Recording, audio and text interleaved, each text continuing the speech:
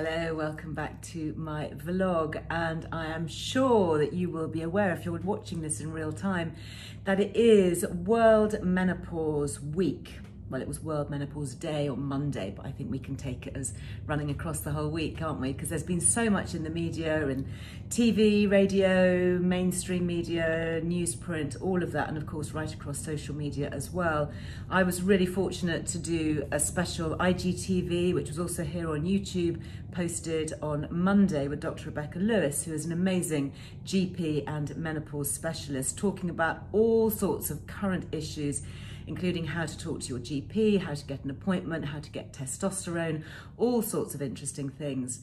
And one of the things that she and I talked about at length, actually, not only then, but in previous podcasts, and it comes up time and time again whenever I'm talking to midlife women, is this question of anxiety and raised anxiety, heightened anxiety, especially when you think about what we've all been through in the last 18 months living through a pandemic.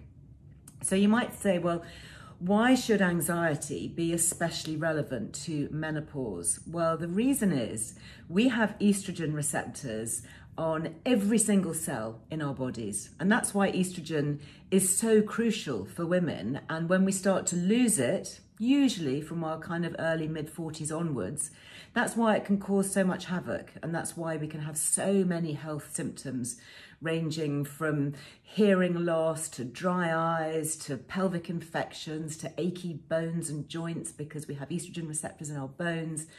And of course, a big concentration of our estrogen receptors is right here in the head. Yeah, it's all in the mind, in our brains.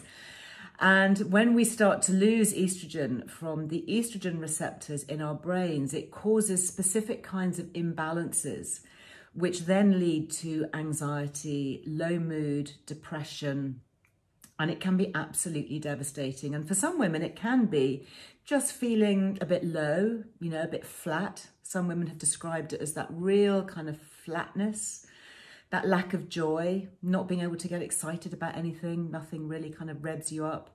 But a lot of women, it manifests itself as extreme anxiety. Some women become agoraphobic, they become so anxious about life, so fearful that they can't go outside, they give up work, they stop driving. And little things can become really catastrophized. They can blow up in your mind and become much, much bigger. You might become fixated on certain things.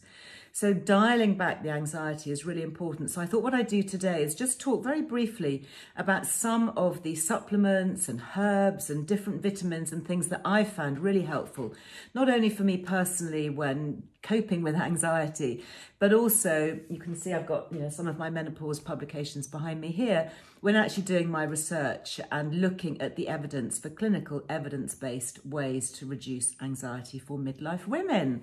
So the number one thing, of course, you know what I'm going to say, it has to be estrogen. I mean, you just can't get around it. Because the anxiety is caused by low levels of estrogen in the brain, replacing it with estrogen is kind of a no-brainer, if you'll excuse the pun. I mean, that really is what's going to do it. And that's why antidepressants are not the answer. So many mid midlife women, literally millions of midlife women, have been prescribed antidepressants for anxiety and low mood and depression that's not clinical depression. You know, antidepressants, as I've said before, are all well and good and fine for treating depression. That's what they're designed for. But they're not going to replace your estrogen. That's they're, they're not designed to do that. The only way you can replace estrogen in your estrogen receptors is with estrogen, okay? So I'm not going to bang on about it, but estrogen, transdermal estrogen, the modern body identical kind or bioidentical kind, it's a kind of interchangeable word, is safe, it's regulated, it has not had uh, breast cancer links, it's not had blood clot links. Those have been links with older types of HRT that you take as a pill, clotting factors because it goes through the liver, that's why there's a very small clotting risk but not if it's transdermal, not if it goes through the skin in a gel or a patch or a spray. Anyway, you know, you can find lots more information. I've got publications. There are lots of websites. There's the Balance app. There's the Menopause Charity. There's Menopause Doctor. So many resources that you can go to. So anyway, so fundamentally, do please, if you are midlife and you are thinking that your estrogen levels are beginning to go a bit erratic, or maybe you're later in years, then do please investigate replacing estrogen.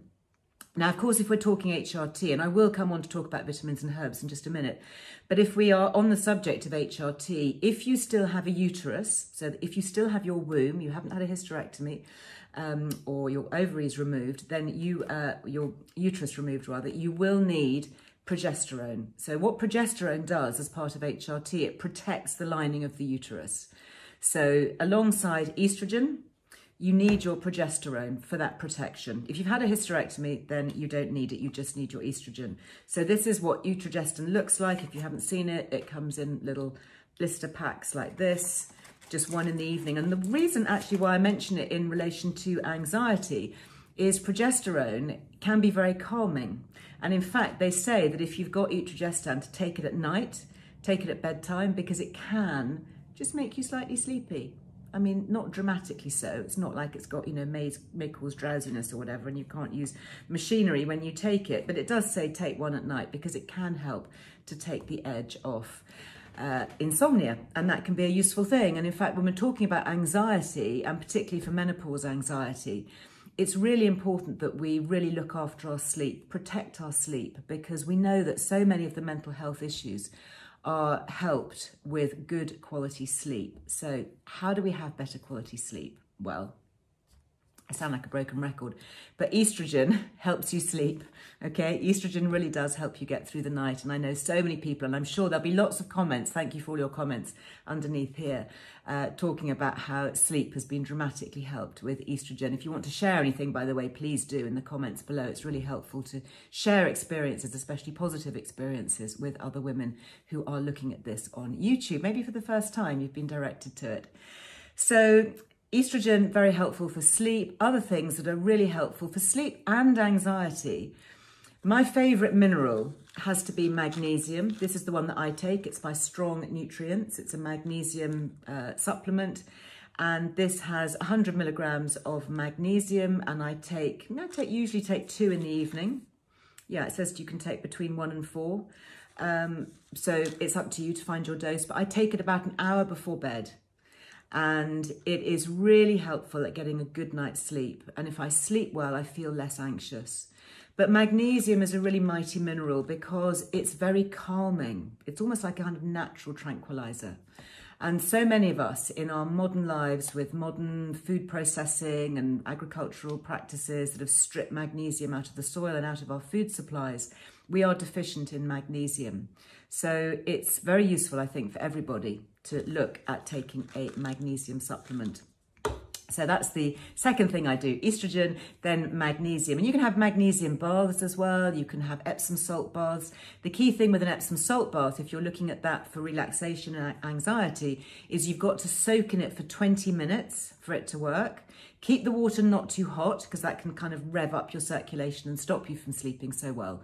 So have a lovely kind of warm bath plenty of bath salts, Epsom bath salts. You can't just do a few spoonfuls. It's got to be really some big handfuls of Epsom salts and then soak in it for 20 minutes. And then you get out of your bath and you pack the skin dry.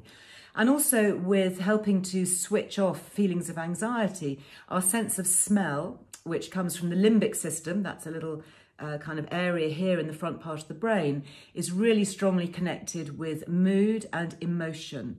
And one of the smells that can help reduce anxiety, and this has been clinically proven, is lavender. So, you know, it sounds like a kind of an old wives' tale, doesn't it? But lavender is really good for just oh, helping to calm everything. So you might want to keep a little bottle of lavender with you. You could keep it in your bag.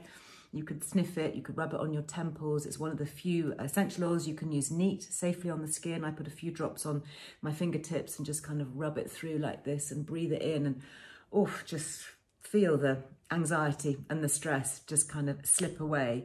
And it's also good to add to your bath. So if you're having a magnesium bath, you can pop a few drops of lavender oil with that as well. Talking about other nutrients, the two that I also find really helpful from the vitamin side of things. Um, one is vitamin D. We should all be increasing our levels of vitamin D. Now it's getting darker here in the UK especially.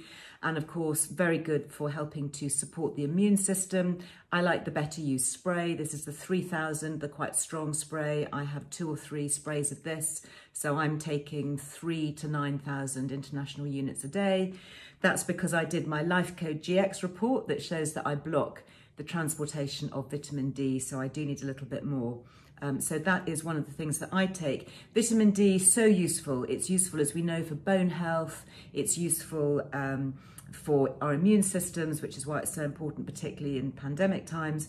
But also, it's very useful for creating the brain chemicals that help to keep us calm. So, anti anxiety brain chemicals, things like GABA, serotonin, dopamine. We need our vitamin D. Technically, vitamin D actually isn't a vitamin, it's a hormone. So really important when you're thinking about anxiety is to look at your vitamin D levels. The other thing that I really like, and you may have heard me talk about this before, this is kind of a little bit off the wall.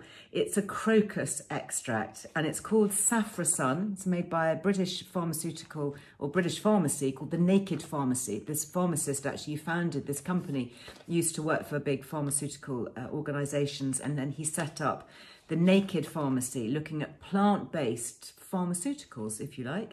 And it's clinically tested. Again, it's all evidence-based. Saffrosun. So it's the extract of saffron, which has been shown to reduce anxiety and edginess and stress. Very, very good for helping to oh, keep us calm. They also combine this with vitamin B12, and B12 is another really good vitamin for helping with anxiety. So that's something that I have in my armory of anti-anxiety helpers. And last but not least, I like using adaptogenic herbs. This is um, little drops here. This is a company called Life Armour and they make these lots of different drops. They get drops of slumber that help you sleep well, drops of immunity, which are very good, obviously, for the immune system. Drops of balance contain adaptogenic herbs like ashwagandha. And ashwagandha is one of those interesting herbs that when we are feeling anxious and overwrought, it can just help to take the edge off. So look for things like ashwagandha, look for crocus extract, look into saffrosun, make sure that you're getting plenty of B12, look at your vitamin D levels, look at magnesium, especially last thing at night. And of course, don't forget your hormones. I hope that's been helpful. Please leave comments below. Most of the things that I've talked about are actually available on an affiliate discount code using Liz Loves. Again, we'll put the link in the caption above this little video. But I hope you like it and I hope it's helpful. Stay well. I'll see you next time. Bye-bye.